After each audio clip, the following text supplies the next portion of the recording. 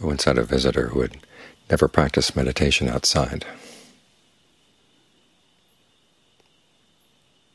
He'd always practiced in the sealed environment of a meditation center. He came here, and after the first day complained that the, the orchard was too noisy. The sound of the wind and the leaves, the snails crawling over the leaves, the lizards, the bugs. There's too much noise for him to take. And so I have to remind him that an important part of meditation is learning how to stay focused in the midst of sounds, and that these sounds were very harmless, good sounds to work with. Of course, there's more to sitting under the trees and being out here in nature than just the sounds. There are the animals, and not all of them are friendly. Some of them pose dangers. It's not that they have ill will. Simply if they're frightened of you, they can do harm.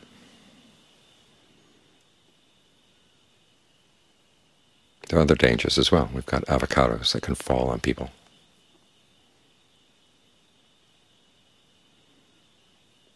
So this too is a good test. Can you learn to meditate in a place that's not totally safe? And after all, how many places around are totally safe? And still maintain your concentration,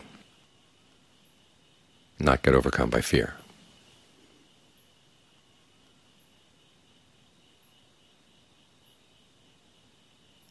Here it's important to realize that fear is not always unskillful. When the Buddha talks about the unskillful roots, he talks about greed, aversion, and delusion. He doesn't mention fear. I've known a number of psychotherapists who wondered about that, because for them, the main issue for their clients is fear, irrational fear.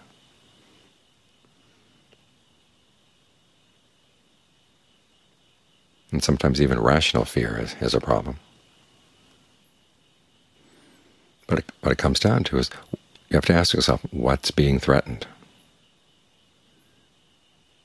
And to what extent is greed getting involved in what you would like to have? Of course, like that gets threatened. Or to what extent does anger get involved in your fear? Delusion get involved with your fear? Those are the things you want to ferret out. Because we do what we can to protect ourselves from dangers. When you do walking meditation at night, don't do it in the dark. One of Ajaan Fuang's favorite phrases is, never trust a path. In other words, it may be a path you've been down many, many times. It's dark out. Well, the moon is out tonight. You figure, well, there's little patches of moonlight on the path. I can see my way. You never know. There might be something hiding in little bits of shadows. A snake or something might be there. You might step on it. It might retaliate. So if you're doing walking meditation, make sure you've got light. Walk down to your place in the in the grove, walk down to the guest house, make sure you have light. In other words, you don't go looking for unnecessary dangers. And you don't let your carelessness cause a problem, because after all, one of the things we do preserve our life for and we preserve our health for is so that we can practice. It would be a shame you've got a good opportunity to practice like this and you throw it away out of carelessness.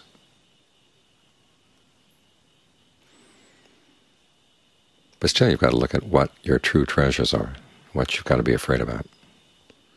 There comes a point where you're going to have to leave this body. It may come suddenly, it may come slowly, but there comes a point where you've got to leave. So you know that the body is something that eventually has to be put down, put aside.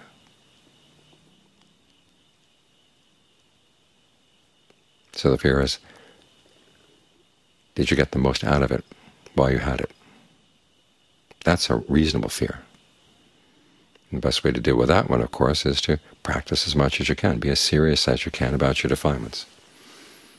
All too often we can put off a particular defilement saying, well, I'm not ready for that one yet. I'll put it aside. Let it go for the time being.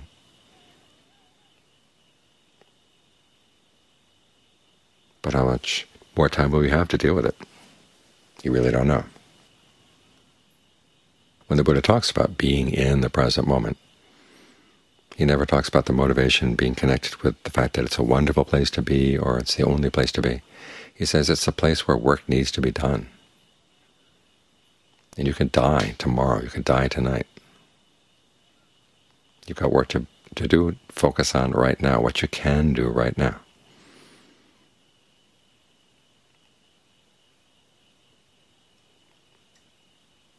And don't get used to letting the big issues pass by, pass by, saying, well, I'm not ready for them yet.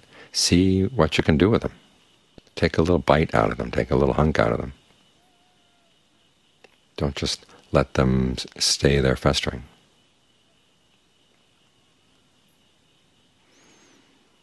So if the time does come when you have to leave this body, you can tell yourself, well, I did my best. I put time in and I did my best.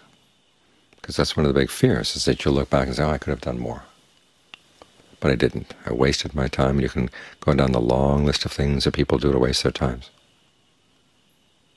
It's something that's slipping away, slipping away, and it doesn't come back. Once it's gone, it's gone.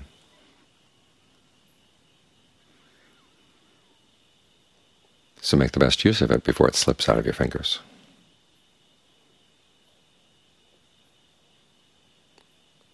When we talk about fear, we can also stop to think about what are your important treasures. Material things, they're, they're going to have to be put aside too. The Buddha says to focus on your noble treasures, your conviction, your virtue, your sense of shame and compunction, your learning, your generosity, your discernment. These are things that you could legitimately be afraid of if you were going to lose them. Fortunately, you don't lose them because of anybody else's actions. You lose them because of your own. This means you have real control over them, but you have to learn how to exercise that control. And the fear that drives you to exercise that control, that's actually skillful fear. Loss of conviction is something to be afraid of. There's a story in the canon where a man had made an arrangement to give a meal to the Buddha. And then a woman gave birth to a child after an extremely long pregnancy. She wanted to give, give a meal to the Buddha as well, seven days of meals. And so the Buddha told the told Moggallana to go talk to the man. Would he be willing to put off his meal for a week? He said, if you can be my guarantor for two things, one, my life, and two, my conviction, I'll be willing. As Moggallana said, well, I'll be your guarantor for your life, but as for your conviction, that's your responsibility. Here conviction means conviction in the principle of action, because that's what enabled the Buddha gain awakening, which means further, of course, that you have the ability too, because the qualities he developed as he gained awakening are qualities that you have in potential form as well. And he never claimed that he had any special dispensation on these things, simply that he had developed them himself. This is something you can do. So make sure you have that conviction intact. Virtue, shame, and compunction all go together. In other words, virtue is abstaining from harmful activity. Shame is, a healthy sense of shame is realizing that unskillful activity is beneath you. In other words, this is the obverse side of a healthy sense of pride, of self-esteem. In other words, you know that you are capable of skillful things, and that it would be a shame if you stooped to something beneath you. So that protects you. Compunction is looking at the results of unskillful actions and actually feeling fear. This of the noble treasures is the closest in this quality of skillful fear, fear of the consequences of doing something wrong. The fear that your strength of virtue, concentration, and discernment might not be strong enough to withstand difficult situations. When society is going relatively well, it might be easier to observe the precepts than when things start falling apart. Are your precepts solid enough so you can trust yourself, say in an apocalyptic situation?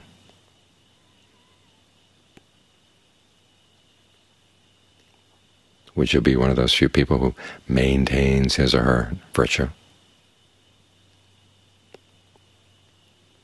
Or did you let other things sneak in and take your virtue away from you? That's something to be afraid of. So you want to develop your compunction so that no matter what, you're not going to do anything that you know is unskillful.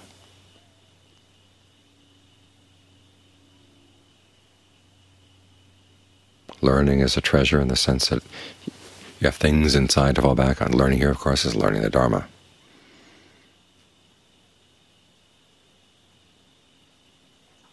When times get difficult, it's good to have a phrase in the back of your mind. I was reading a book recently. A small kid is lost up on the, the top of a plateau. He tried to track his uncle and his father. As they were out hunting, he wanted to join them, but they had slipped out without letting him know, but he followed them. He gets lost. The day is ending, and he's afraid. Doesn't know where he's going to go for shelter. And then he remembers a sentence that his father taught him. Every time he taught him to write cursive or printing, the sentence was this, there's no need for hope in order to undertake something. There's no need for success in order to persevere. So the kid repeated that over and over in his head. It calmed him down. He was able to figure out a way to get out of the situation. So good knowledge like that in your head is stored away. It's good to have, so you can pull it out when you need it in a difficult situation. And do you have that kind of knowledge? How many of the Buddha's teachings have you remembered? We've got the chants that we do every night, and by doing them day after day after day, they do ingrain themselves in the mind. So think about those.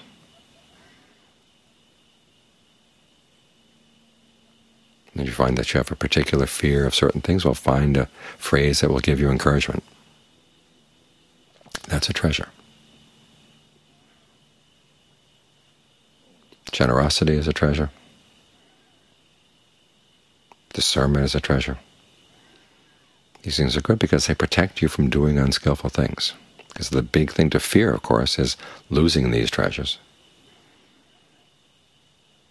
throwing them away because you're attached to something else. Your your fear gets focused on things that are really insubstantial, things that you're going to have to let go of anyhow. So sit down with your fears and sort them out. Which ones are skillful, which ones are not. If they're unskillful, what can you do to develop the skillful fears that will counteract them? The Buddha doesn't tell you to have no fear at all. Have fear of the right things. And if you see something within you that would make you destroy your noble treasures, okay, that's something to be feared. And do what you can to overcome it.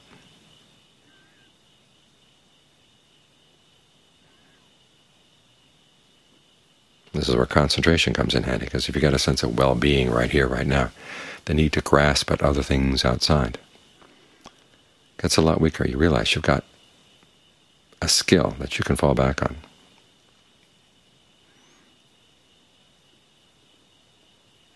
Make the most of it. It is your protection. If concentration is based on goodwill, that too is a protection. If you use goodwill as we do every day. Reminds you that, okay, you're out there with all those animals, you have goodwill for them, you don't mean them any harm. Sometimes they'll pick up on that. And the fact that you haven't been harming them, that's your protection too.